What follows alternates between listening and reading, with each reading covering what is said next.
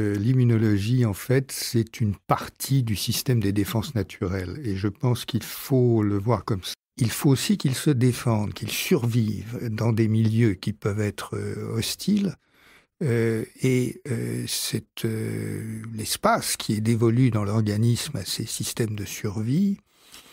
c'est très difficile à chiffrer, c'est imprécis, mais enfin, en gros, c'est probablement au moins 20% de l'organisme sert à ça, c'est pas rien. Bon, c'est complètement diffus, c'est complètement distribué dans le corps humain. Oui, parce qu'on ne sait pas où ça se situe. Non, on sait un peu où il y a ce qu'on appelle les organes lymphoïdes. Voilà, les ganglions, le thymus, voilà. le thymus, euh, la rate. Et puis, euh, il y a tous ces systèmes de circulation de cellules qui vadrouillent dans tous les sens, à toute berzingue, dans tout l'organisme. Hein. Euh, et il y en a quand même quelques milliards, c'est pas rien. Et puis, euh, il y a le fait qu'en réalité, chaque cellule de l'organisme, ou presque, est dotée de mécanismes de défense. Alors, cette défense, c'est la défense contre quoi? Et là, on rentre dans une notion qui est essentielle.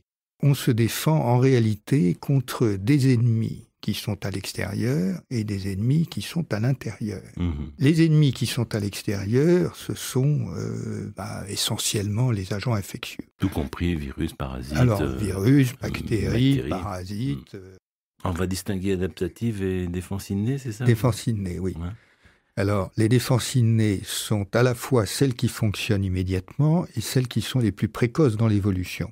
Les défenses adaptatives euh, sont apparues au cours de l'évolution de façon assez étrange et intéressante d'ailleurs, mais euh, c'est en gros les anticorps et ce qui permet de synthétiser les anticorps, c'est-à-dire des cellules T. Alors les termes sont un peu barbares, mais ce qui est important de savoir, c'est que vous avez ces deux catégories de cellules, celles qui portent et font des anticorps, celles qui portent euh, les récepteurs des cellules T, et le point clé, c'est de savoir que les deux doivent fonctionner ensemble pour arriver à une bonne réponse, et que pour chacun, que chacune des deux, vous avez en gros un milliard de cellules différentes dans l'organisme. Donc maintenant, je vous pose la question, très bien, tout ça circule dans l'organisme, vous avez des milliards de cellules B d'un côté pour les anticorps, de cellules T de l'autre.